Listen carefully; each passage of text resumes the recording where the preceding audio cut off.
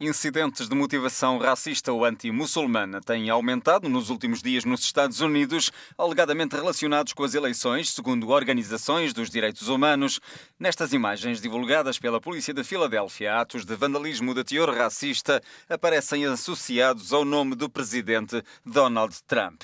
Um homem escreveu grafitis com slogans racistas ao lado da frase Trump faz a lei.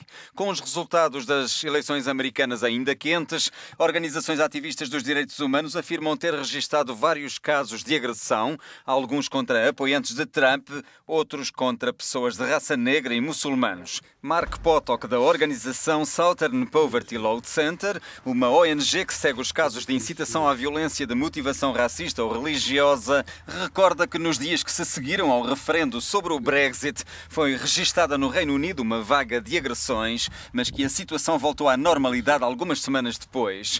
Entretanto, numa escola do segundo ciclo no estado do Michigan, alguns alunos gritaram no dia 9 de novembro contra colegas de origem hispânica: construam o muro.